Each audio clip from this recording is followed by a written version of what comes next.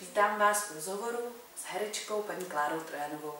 Jaký režim si nastavila uh, doma uh, se čtyřma dětma, jak to vůbec zvládáš? Je, to, to by bylo krásné, kdyby se mi podařilo nastavit nějaký režim. Vždycky si to tak jako třeba o prázdninách letních, nebo když mám chvilku klidu, tak si říkám tak. Teď si nastavím ten režim a budu tenhle den dělat tohle, tenhle tohle, tak jako si to rozvrhnu a e, následující den už se mi to všechno zbortí. Nedá se nastavit režim. Vůbec. Když jsem si prohlížela fotky kluků, jsou jak uh, přes kopiák, jeden uh, druhý uh, rozliš, rozlišují se povahou uh, od sebe, každý úplně jiný? Uh, ne, ne, ne, ne, ne, máme dva stejný dvojvrhy.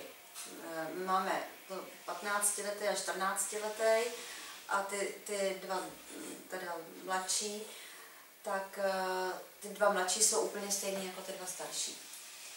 Že ten 15 letý vlastně je stejný s pětiletým Toníkem a Pepa 14 letý je stejný s Vašíkem.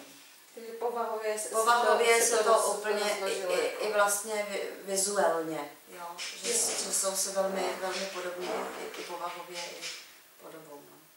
Tak aspoň, že to eh, Kdyby byly uh, dva rahubíři za sebou, bylo by toho horší. Jako kdyby to, by bylo, to bylo horší, no, ale je to až vlastně uh, tak jako za, zajímavý, že se na tím vždycky pozastavíme, jak je to možné, že nám to takhle ten pán Bůh nadělil, jako kdyby nám dal ještě jako by jednu šanci si to zkusit celý znova, jestli to umíme snad líp, nebo um, prostě um, člověk dělá, může.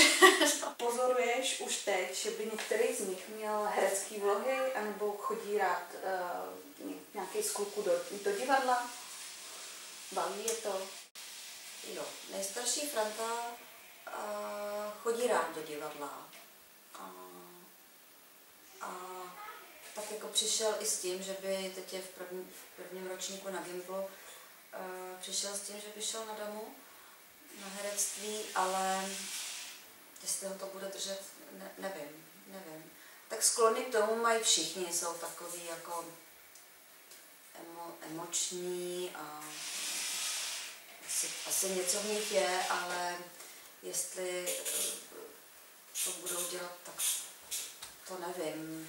To nedokážu posoudit a eh, spíš bych jim přála, aby si vybrali něco smysluplnějšího, lepšího.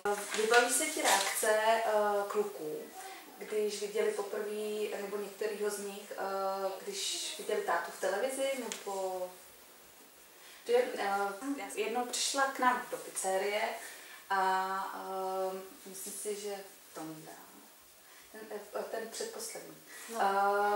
fandil při fotbale a křičel táto do toho.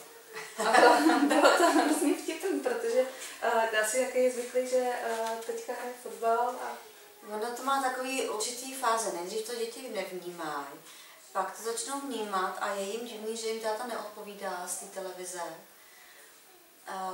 nebo je jim divný, že je táta v televizi i doma.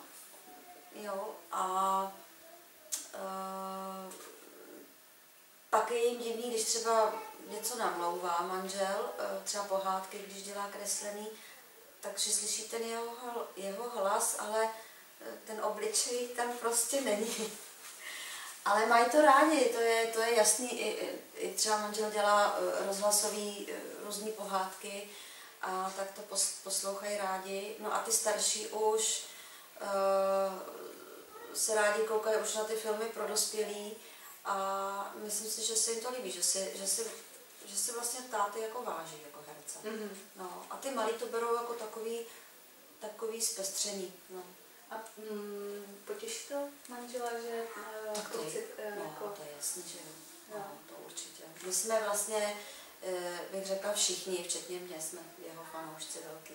No, u nás taky frčíme. No, u nás četnický humoresky máme jako všecky a to teda u nás jede jako hodně často. Mm-hmm. No. Jako, že si kluci sami přijdou a pustí Toník, no, Toník, jo. tak pětiletý. No. no. To má hodně rád, no. Hezky. Uh, jaký mají kluci koníčky a sportují? Tak u nás se musí sportovat, i kdyby nechtěli. No, to, to prostě manžel je sportovec od malička. Já jsem taky byla vedená ke sportu, ne sice tak intenzivně jako manžel, ale... Takže sportujou od, od malička, velký kluci se dali od první třídy na florbal. Mm. Tak, a zůstali u toho. Jeden je brankář, jeden útočník. Zkoušeli jsme basket, ale tam se to nějak nesešlo. Tam to nějak nebylo úplně úspěšný. Je chvíli taky fotbal. A tak to naštěstí eh, pochopili kluci, že to není úplně dobrý sport. Eh, k mý radosti. A takže zůstali u florbalu. No a malý Tonda teď eh, začal atletikou a horolezením. A ta uh, atletika je tady dole na ty... Na atletiku jezdíme do Davids. Je takhle. No, je, no, tam je to takový pro ty děti mm, moc dobrý a vlastně já uh, po zkušenostech, protože mám ty velký kluky, tak se můžu poučit z různých mm-hmm. chyb tak jsem si řekla, že nejdřív budou oba ty malí dělat atletiku a něco na koordinaci, nějaké takové prostě věci, aby s tím tělem na, se naučili nějak jako zacházet, protože ve škole eh, je nenaučí v podstatě nic. Mm. Tam ten tělocvik je dost strašný a já jsem zjistila, že mm, ty kluci neumí pořádně udělat kotrmelec. Prostě teď už jo, ale uh, je lepší si myslím začít takový no, všestraným sportem. No, když jsem se koukala na fotografie tvoje, tak ty se prakticky vůbec neměníš, jsi pořád stejně krásná, ale co pro to děláš? Nic. Dar, dar od Boha. Já to mám vždycky daný, jako nějak, že prostě moje máma taky vypadá o 15 let mladší než je pořád. A um, nevím, no, tak jsem se asi někde zakonzervovala a tichá závist. To jsou vlastně všechny otázky, které jsem měla přichystané. A úplným závěrem chtěla poděkovat partnerům Možná eh, Den Centru a fyzioterapeutce Kateřině, kteří si připravili pro tebe dárkové vouchery. Moc mi děkuju. Jo, děkuju, děkuju moc, no to je krásný.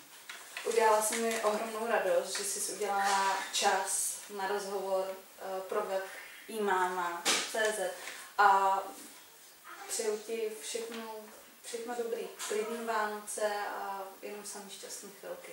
No a já, já ti taky a ty budeš mít k Vánocům dárek. Dárek, krásný.